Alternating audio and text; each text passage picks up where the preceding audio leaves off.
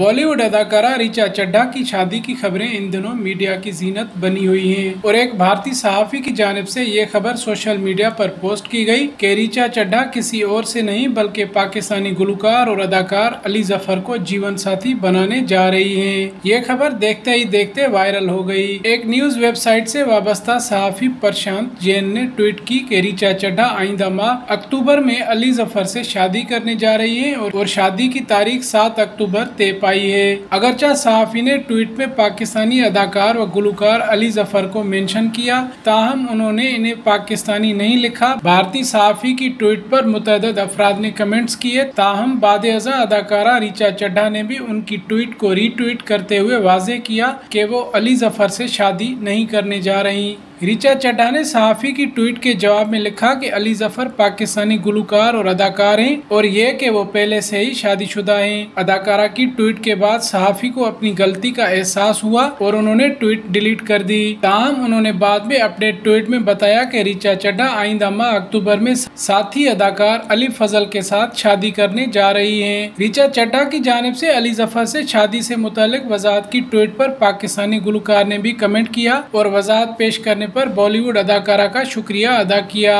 अली ज़फ़र ने रिचा चड्डा की ट्वीट को रीट्वीट करते हुए लिखा कि आपकी वजाहत का शुक्रिया और उनकी ट्वीट पर भी मदाओं ने दिलचस्प तबसरे किए।